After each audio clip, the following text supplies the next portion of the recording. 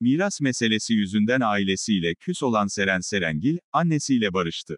Sosyal medyadan o anları paylaşan Serengil, annesiyle olduğu fotoğrafın altında, annem olsun gerisi olmayıversin çünkü onsuz ben çok fakirim, sözlerini paylaştı. Nevin Teoman, kendisine bakacağı vaadiyle 30 milyon değerindeki evini verdiği kızı Seren Serengil'e, beni kandırdı, diyerek dava açtı.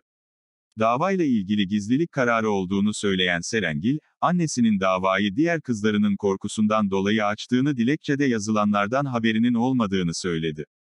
İkilinin bu sebepten ötürü bir süredir küs olduğu öne sürülürken, Seren Serengil'den duruma nokta bir paylaşım geldi. Serengil, annesiyle olan fotoğrafını Instagram üzerinden paylaşarak, şimdi en mutlu en neşeli en zengin en zengin benim annem İsbek. Aramızı bozmak isteyenler avuçlarını yaladılar. Benim annem beni bilir ve bana çok düşkündür. Her anne gibi ama benimki sanırım bir tık daha fanatik. Hep dedim size bu işler annemin işleri değil diye. Neyse umarım bizi rahat bırakırlar artık. Bir geldi bütün havam değişti. Ne kadar güçlü hissediyorsun? Ne kadar özlemişim anlatamam. Bu yıl çok kötülüklerle karşılaştım ama Allah hep oyunları bozar ve bozdu. Annem olsun gerisi olmayıversin. Çünkü onsuz ben çok fakirim, dedi. Paylaşım dakikalar içinde on binlerce kişi tarafından beğenildi.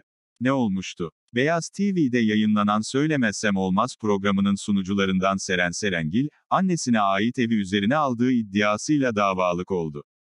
Anne Nevin Teoman, kızının daireyi ona bakacağını söyleyerek üstüne aldığını iddia etti. Annesi Nevin Teoman ile üvey kardeşleri yüzünden de bozuşan Serengil, sosyal medya hesabından açıklama yaptı. Teoman mahkemeye başvurarak, ne imzaladığımın farkında değildim. Kızım beni kandırdı. Ne sağlık sigortamı ödedi ne de faturalarımı. 30 milyonluk dairemi de üzerine geçirdi, diyerek dilekçe verdi.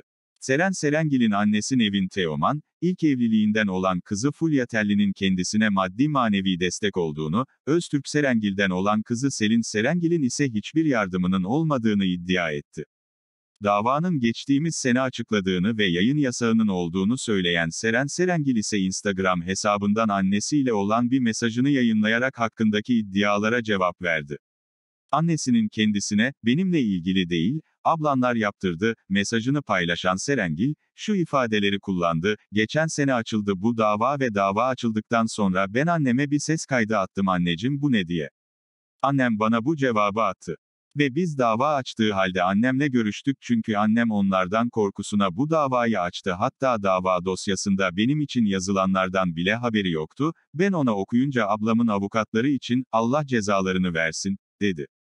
Annem hem Gata Devlet Hastanesi'ne gitti hem noterde vasiyet verdi hem de ömür boyu bakım sözleşmesi yaptık.